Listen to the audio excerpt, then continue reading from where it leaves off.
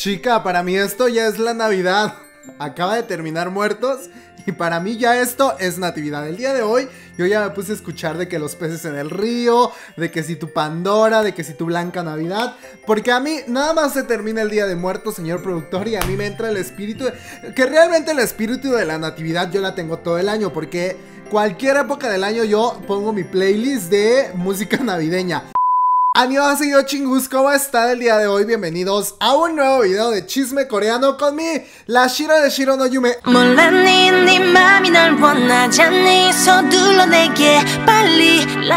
¿Qué es lo que están diciendo las principales páginas de internet sobre el K-pop? Esta idea ya se las había yo platicado en algunos de los en vivos que hago dentro de mi Instagram de abrir varios portales muy amarillistas de K-pop para ver qué es lo que están diciendo en el momento exacto. Entrar, leer la noticia y opinar un poquito acerca de todo esto que se está diciendo. Normalmente lo que yo hago cuando grabo un video de chisma coreano es ponerme a leer todo lo que se está diciendo dentro de los medios de comunicación coreanos. Toda la información que yo siempre te traigo en el canal viene de fuentes coreanas porque pues es más fiable, comadre. Luego si al rato hay un pedo ya sabes a quién echarle la culpa, donde lo leíste. Y siempre anoto todos los temas, anoto los datos más importantes y como que me voy a echar una empapadita a ver qué es lo que están diciendo otros medios de comunicación, a investigar algunos datillos y ya así es como armo más o menos lo que te vengo a platicar en los videos. Ahorita no, ahorita yo voy a entrar y voy a ir viendo las noticias y voy a decir, ah mira, esta me llama la atención. No te voy a decir en qué medio de comunicación las estoy leyendo, porque mira, yo no vengo a echar aquí shade en contra de nadie. Y aquí tengo abierto ya uno de los medios de comunicación a los que el fandom de K-pop en general le tira mucho hate. Es un medio de comunicación de Occidente, de este lado del mundo, no es coreano. Y muchos fans han tachado a este medio de comunicación. Pues de un poquito mentirosa tu comadre. Aquí hay una noticia que me llamó mucho la atención y que la publicaron hace como media hora. Que se llama CYINM. Confirma que 101 está en conversaciones para una posible reunión y hay avances positivos. Vamos a leer esto y vamos a ir opinando. Que acuérdate tú que 101 ya tiene ratote que se desintegró. Porque fue el grupo resultante ganador de la segunda temporada de Produce 101. ¡Qué bendición! Si es que ya están platicando para que haya una reunión de 101. Para que promocionen por un ratito. Pero se me hace muy mala onda que no haya pláticas para volver a reunir a los X1 que son los que deberían de estar promocionando ahorita porque fue el grupo, bien o mal, ganador de la tercera temporada, no, de la cuarta temporada. CYINM ha confirmado que One One está en conversaciones para una posible reunión con la posibilidad tanto de álbumes como de conciertos. ¡Ah! O sea que se viene en grande. No es como que vamos a sacar una canción. No va a ser como las RBD que se reunieron para un concierto virtual y ya no. O sea que tus tías de One One si tienen planes, es que mira, yo aquí sin afán de tirarle hate a nadie, pues la verdad es que se sabe que de los programas de competición musical pocos son los miembros que terminan triunfando de manera individual. Ya me hartó esto de, los, de las campanitas porque me distrae mucho. Cuando hay un programa de competición musical y el premio es que haya un grupo debutante, al grupo siempre le va bien. Eso es como de por ley porque ya crearon una popularidad durante todo el programa. Entonces al grupo siempre le termina yendo bien. Pero una vez que ese grupo se desintegra, pocos son los miembros que logran hacer una carrera en solitario. La, mayoría de las agencias de K-pop opta por volver a incluir a estos miembros dentro de sus proyectos de trainers o los meten a otras agrupaciones o los vuelven a meter a otros programas de concurso musical. Lo hemos visto varias veces y me parece que de One on One el que más renombre ha tenido ha sido Kang Daniel. Es el que ha logrado hacer su carrera en solitario, aunque durante bastante tiempo estuvo envuelto en un problema legal con su ex agencia hasta que hace un par de meses se confirmó ya que Can Daniel terminó su contrato con esa agencia y ahora pues él se maneja de manera independiente. Creo que Can Daniel ha sido el que más ha logrado como hacer una carrera sólida. Me refiero a que lo hemos visto promocionar de manera individual, lanzamiento tras lanzamiento, reuniones, bueno, cuando se podían hacer conciertos, conciertos. Y es que mira, viéndolo desde el lado estratégico, esta reunión es bastante conveniente para todas las agencias que tenían sus trainers dentro de estos grupos. Y era algo que ya se veía venir, porque también acuérdate tú que desde hace un par de meses atrás había varios rumor que el grupo debutante de la primera temporada de Produce 101 que ha sido la franquicia de programas de competición musical que más éxito ha tenido y que muchas otras cadenas de televisión han querido repetir el éxito de Mnet, pero pues eh, la Epnet sí tiene una fórmula bastante poderosa la vieja. Claro, a las agencias de K-Pop nada más les mencionas dinerito, cuánto de ganancias se van a llevar y todas se van trompa abajo como las RBD pues ya ves que las RBD les funcionó muy bien lo de su reunión virtual del año pasado, justamente ganaron grandes millones de dólares.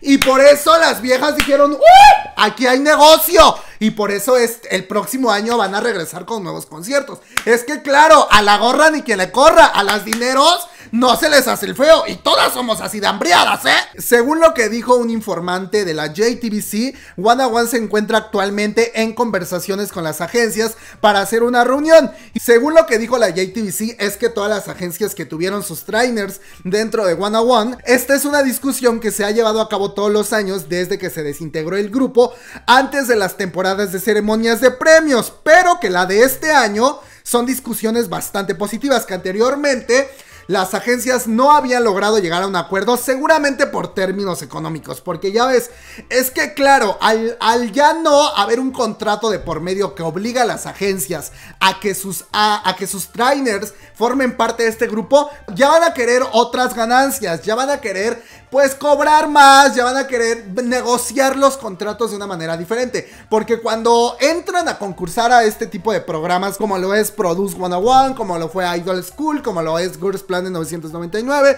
como lo es Island, pues hay un contrato que las agencias se comprometen a cumplir y es un contrato que pues mayormente va a favorecer a la EBNET, que mayormente va a favorecer a la productora del programa musical, porque pues al final de cuentas son ellos los que están poniendo los recursos y la infraestructura para que este grupo debute. Al final de cuentas siempre, aunque los, las agencias y los idols estén ahí y reciban ganancias, la mayoría de la tajada de, de las ganancias pues van a ser para la casa productora. En este caso, pues para la Ednet, que fue la que pone la infraestructura, y para la, eh, para la agencia que los termine haciendo debutar, que en este caso, pues es, es Win Entertainment, que es una subsidiaria de la Ednet Entertainment. O sea, básicamente, pues todos los dineros se le quedan a la Ednet Entertainment, que forma parte de la CYINM. O sea, Hermana, el gran conglomerado, el que maneja y el que toma las decisiones de la EBNet, de Swing Entertainment, de, de la, de la, esta, de Studio Dragón, porque no sé si tú sabías, pero Studio Dragón, eh, y todas estas cadenas de televisión le pertenecen al conglomerado CJENM. A ese conglomerado le pertenecen todos estos negocios y al final de cuentas, pues también Swing Entertainment que es quienes manejaban a los One on One, pues es un negocio de este gran conglomerado. Está tratando de coordinarse en torno a las actividades actuales de cada uno de los miembros, ya sean programas de variedades, actuación o promociones musicales. Desde entonces, CYIM ha confirmado que han tenido discusiones positivas con todos los miembros desde... ¡Ay! Podría, o sea, si esto se confirma, las viejas de One One podrían aparecer en la ceremonia de los Mama 2021. ¿Cuándo se desintegró One One? Hace dos años. O hace un año, hace dos años, ¿no? Debutaron en el 2010. Ah, un año nada más. Es que claro, One One nada más promocionó un año, por eso.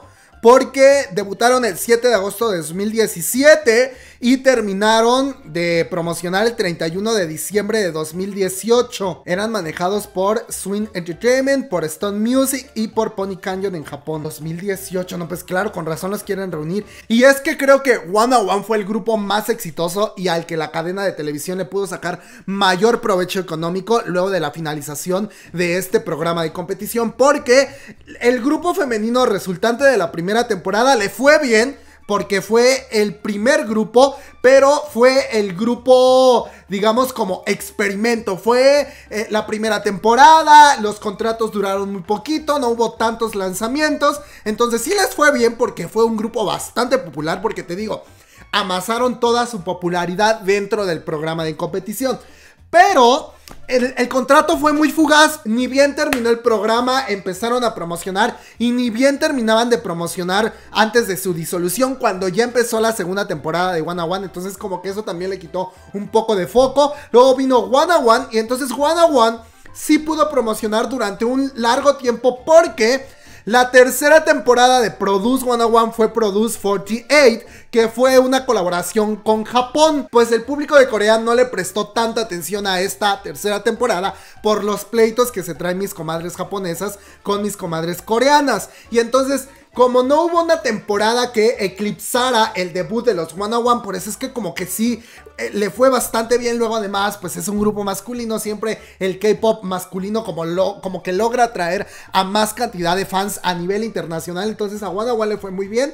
Y luego de One One vino la, la cuarta temporada, que justamente ya para la cuarta temporada One One ya no existía porque se desintegraron durante 2018 y me parece que la, la cuarta temporada de Produce One One fue durante 2019. Sí, porque los pedos de la disolución de X1, que era el grupo que ganó, empezaron durante 2019 y ya pues durante 2020 se confirmó que ya, este, indicios de 2020, se confirmó que el grupo pues ya no iba a promocionar por todos los pedos que había y todas las investigaciones. Sí fue así. Sí, 27 de agosto, debutaron en agosto de 2019 y eh, oficialmente se disolvieron el 6 de enero de 2020. ¡Wow!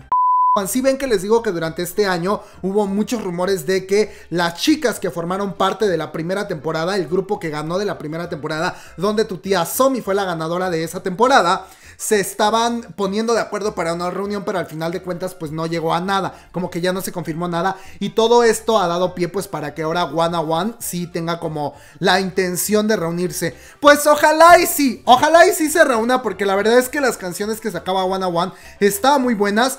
Ahora, como hay tantas agencias involucradas en este pedo, no sé qué tan factible le vaya a ser porque te digo, ahora, los papeles se han invertido porque las agencias que tienen a los idols integrantes de One One están en el papel de exigirle a la promotora y a la productora y a la agencia que se vaya a hacer cargo de las promociones, pues de mayores ganancias, porque los integrantes ya son famosos, ya se comprobó que tienen mucha popularidad, cada uno de ellos ha crecido de manera individual, ha crecido en, en, sus respectivos grupos y además también una reunión implica modificaciones a sus agendas, modificaciones a las agendas de los grupos con los que ya están promocionando, entonces... Pues sí, ahora como que se invierte un poco porque las agencias sí pueden pedir más. Y al que le va a ir muy bien es al Kang Daniel, porque acuérdense que en Kang Daniel tiene su propia agencia. Entonces, pues como que él no tiene un intermediario que esté o que vaya a recibir dinero por él, sino que va a ser su propia agencia que le pertenece a él. ¿Sabes? La que, eh, porque acuérdate que él es el CEO de su propia agencia. Te digo, me parece muy bueno, pero me pareciera aún mejor idea si la EPNET pues hiciera una reunión de los X1, porque al final de cuentas, sea como sea, con la manipulación de los votos, ellos no tuvieron la culpa. Los que tuvieron la culpa fueron las agencias y los productores, ellos son los culpables. los integrantes no, porque ellos se partieron el lomo estando en ese programa, que no es nada fácil estar en un programa de competición. Los niveles de estrés de cada uno de los participantes se disparan a lo máximo. Y si se me hace una vil gatada que estén queriendo hacer una reunión de los otros grupos, que me parece perfecto, porque yo soy fan de los otros dos grupos, tanto del femenino como de mis comadres de One One. Pero se me hace una gatada que a los X1 ni siquiera me los hayan promocionado, pues. O sea, ya ni siquiera pon tú que ya no regresen como X1, los ganadores de la cuarta temporada. No, regresenlos como algún otro concepto. Denles otro concepto y vuélvanlos a regresar para que reclamen su premio. Seguramente a cada uno de los integrantes les dieron algún tipo de compensación económica por todo esto, porque al final de cuentas, pues no fue su culpa. A menos de que las agencias de alguno de los que quedó en la alineación final haya pagado sobornos para que su idol haya quedado ahí, porque entonces la EBNet pues sí puede tomar como represalias. Es un tema bastante complicado, señor productor. Viéndolo ya a detalles, sí es un tema bien complicado, porque además pon tú, mira, nosotras, las fans, déjame tomo tantita agua porque ya estoy bien emperrada. Con una sola noticia se nos va a ir el chingado video. Te digo, nosotras de este lado del mundo estamos muy contentas. ¡Ay, sí! Que regresen los X1. Pobrecitos, no los dejaron promocionar. Pero otro pedo es allá en Corea. Allá tus tías coreanas no creas que se les va a olvidar. ¿Cuánto tiene esto? Dos años. no creas que ya se les olvidó, porque lo de Produce 101 apenas fue resuelto el año, este año. A principios de este año, tus tías de la policía coreana, pues ya, y la corte coreana ya dictó sentencia, y a estas viejas productoras las van a refundir en el bote por culeras, por haber jugado con el estrés de esta gente y con la confiabilidad del público coreano. ¡Ah! Porque así que tú digas, ¡Uh! ¿Cómo confía el público de Corea en la EBNet y en la Girls Planet 999? No, tanto es la desconfianza del público de Corea que el público y la policía hicieron una investigación a los procesos de votación de las Girls Planet 999, justamente para que no se repitiera la historia de los One One. ¿Y crees que tu tía Ebnet, tu tía Ebnet no es pendeja, tu tía Ebnet no es sonsa, no iba a dejar Seguramente la EBNET ahora sí estuvo, pero mira, así, el ojo saltón. Vigilando a las productoras que no fueran a recibir ningún tipo de soborno, porque otro escándalo como el de Produce One termina de sepultar al EBNET. Si ya de por sí el público no quiere la EBNET, ya estaba la cuerda floja tu tía Ebnet que hasta tuvo que cambiar su imagen y tuvieron que hacer como un cambio a sus diseños. La señora Ebnet lo justificó el año pasado diciendo, ¡ay! Es que son nuestros 25 años de existencia y por eso queremos cambiar la imagen. Mm, estás bien loca, lo cambiaste porque te urgía una renovación para que el público de Corea volviera a confiar en ti después de las tremendas gatadas que hicieron con la Produce One One. Entonces, tu tía Emnet no se iba a quedar de brazos cruzados. Y tampoco la policía ni el público creas tú que se le iba a olvidar tan fácilmente lo que hicieron con Produce 101. Pues resulta que hace unos días atrás, luego de la terminación de la primera temporada del Girls Planet 999, la policía de Corea anunció que tras una investigación a los procesos de votaciones y a todas las cifras que hubo en las votaciones para la final de Girls Planet 999, no encontraron ningún tipo de manipulación.